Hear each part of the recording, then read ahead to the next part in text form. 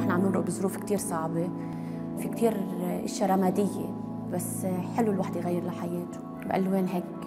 فرحة. الشيء السلبي بده يحوله لإيجابي.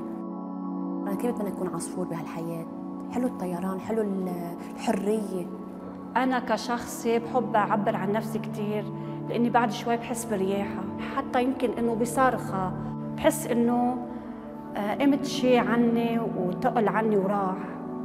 اوقات بكون قاعدة لحالي إنه يكون مرأة طايرة تحط اولادها على جوانحها ومطرح ما بتلاقي الأمان تقعد تغط والمرأة المجسم أنا بلاقيها مع جوانح وحاملة عائلتها على جوانحها. وجوزها محوطها هي واولادها